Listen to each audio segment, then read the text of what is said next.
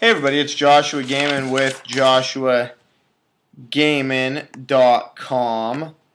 If you haven't had a chance, go to this website real quick, and then you can go right here, click follow, and that'll subscribe you to the blog so you'll get all the updates.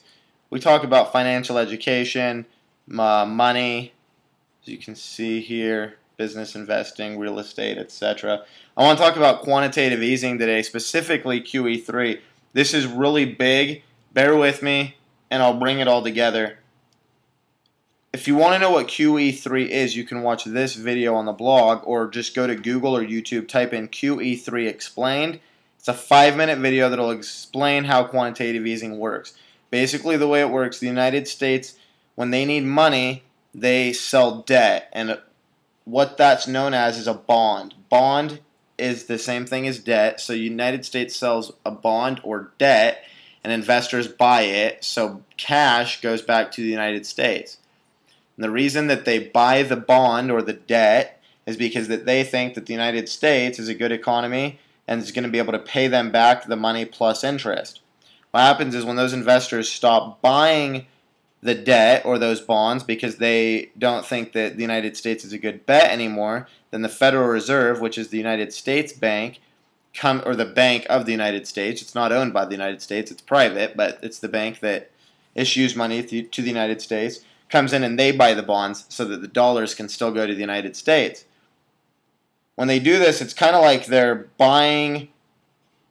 It's kind of like really they're canceling out the debt but if they canceled out the debt to us, if they just canceled out what we owe them, then everybody would lose faith in the dollar and the currency could crash. So instead, they do this nifty thing where they just buy bonds with money they print out of thin air to keep the economy going that's inflated by the money that they create, create out of thin air. So that in a nutshell, that's what QE is, and different governments do it. Uh, they do it with different things to get money to fund what they need needed need fund. This one is they're going to invest in mortgage-backed securities, which I think is interesting because that was the last bubble that popped back in 2008 when people couldn't afford the minimum payments on their debt with houses. But they're going to try to get the economy going apparently by getting mortgages going again. So they're going to pump money back into the economy by buying mortgage-backed securities, which means loans are going to be able to be issued again, packaged together, and the the, the bank or the Federal Reserve will be the end buyer of that debt, which is who people owe the money to in the first place. So, like I said, it's kind of silly. This one, a lot of people have dubbed it QE Infinity because, unlike the first two quantitative easings, this one doesn't have a specific end date. They're, they're going to do it as long as it takes. The release on September 13th, when they announced QE3, uh, also stated that they may undertake additional asset purchases for as long as it takes. Now, there's four factors I have looked at when I've thought about when or why they might do quantitative easing: the stock market, government bonds, inflation or deflation, and the rise in and rise or fall in the employment rate. So let's look at each one of those quickly here. The stock market hasn't really significantly improved in recent months, hasn't really crashed either. Government bonds yields have not risen, meaning investors buying bonds have not seen a greater return than before. Returns still suck for those investors. We haven't seen deflation, but we haven't seen inflation either, and I'll get into in a minute why, because those two things go hand in hand, and it's really important to understand what's going on right now. And the last thing is the unemployment rate. The unemployment rate hasn't gotten any better. So because of these things going on, they had to do QE3 right now. And again, in a minute, I'm going to get into why I think they needed to do it right now. This is Joshua Gamen on joshuagamen.com. So a lot of people have been saying uh, we're talking about quantitative easing and what QE3 is. It was just announced by the Federal Reserve and how we can benefit from all of this. And uh, as a side note from that, a lot of people have been saying that maybe QE3 was announced now to help Obama win the election coming up here in a couple months in November. Well, I don't think that's uh, that's cor- that, that that's true. Uh, I don't blame people for guessing that that might have you know having a hunch that that could have something to do with it because there is a lot of conspiracy and whatnot out there, but I think that if they wanted to do it to help Obama's odds at winning the election, they would have done it sooner because it takes a couple of months to see the effects from quantitative easing from when that money was created so we're probably going to start seeing the effects right after the election, which wouldn't, you know, really be a benefit for either candidate. I, th- I think the reason the, the Federal Reserve is doing QE3 right now is because the Federal Reserve is afraid. And uh, this is a global problem that's going on right now. It's not the United States alone. But the, econ- the United States economy did suck in the second quarter, and the third quarter is supposed to be worse, but they don't have those final figures yet. The UK is in a recession. The European Union is in a crisis. Japan is cra- their economy is crashing from less exports because of the tsunami. Uh, plus, they're on like QE20 over there. I mean, it's ridiculous. They've been doing uh, instigating these measures for a long time and similar types of stimulus for a long time to keep their economy from totally imploding. China's exports are drastically slowing, a lot of people are saying that those have crashed. Um,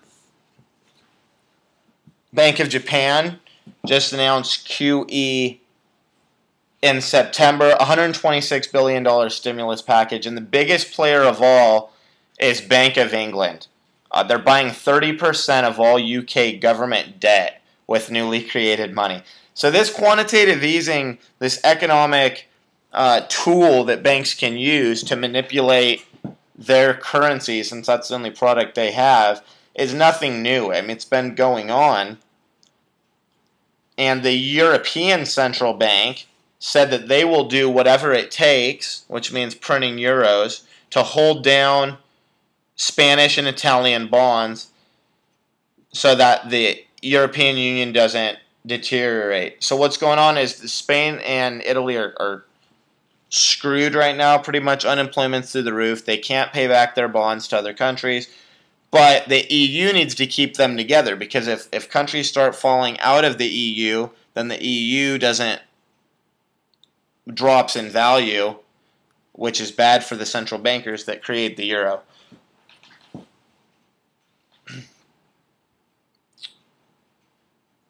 So why how long will all of this work? This creating money by central banks. Um, so to get into that, and this is I'm going to kind of wrap everything up right here. Inflation, which is caused by more, more money, because the more money you have in supply and circulation, the less each dollar's worth, because it's chasing the same amount of goods or services that were already there. But that inflation from that all this quantitative easing is being offset by deflation, which is being caused by globalization of labor jobs right now.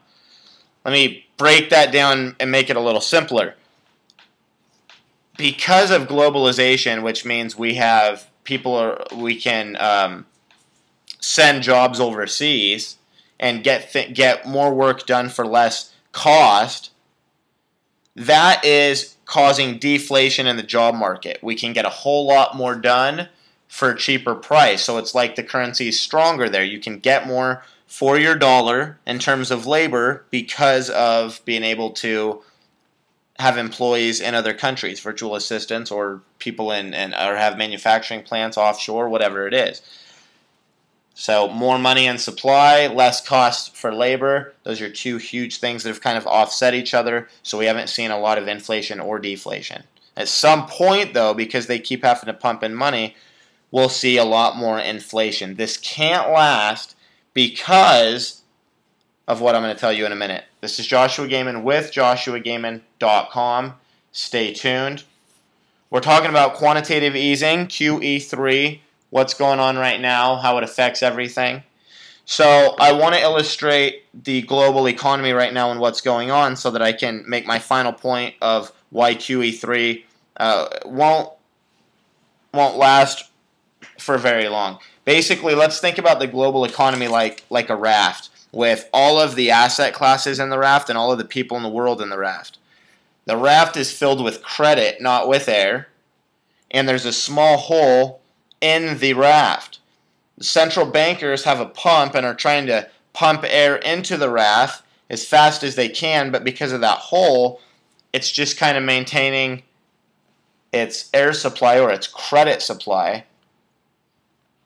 So what's happening is they're creating more and more money. The people in the raft can't afford the minimum debt anymore, so they're just pumping more money into it so that it can be paid to keep the music playing.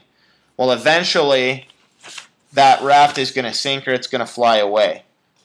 That it cannot sustain floating because income of the people in the raft worldwide is not enough to cover their minimum debt. So either the global the, the the central bankers are either going to be really really nice and just start canceling out our debt which I've already said why they probably can't do that or they're going to be really really nice and or I'm sorry they're going to be not as nice and they're going to start making demands. I don't know what that could mean. That's that's you know you decide for yourself what you think may or may not happen if central bankers start making demands on governments and on people but it doesn't sound like a good thing to me so as the dollar collapses and all currencies, other currencies will collapse around the dollar because they're all tied together together and have been since the end of World War II.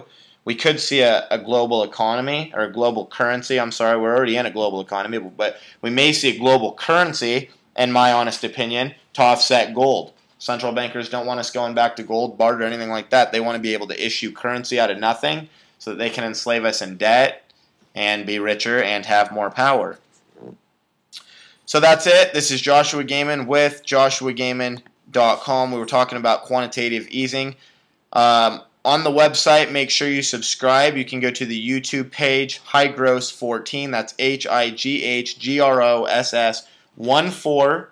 And watch all my videos on there. Please comment, please subscribe, please like, and please share them on your social media accounts Facebook, YouTube, Twitter. Thanks. We're going to talk to you soon.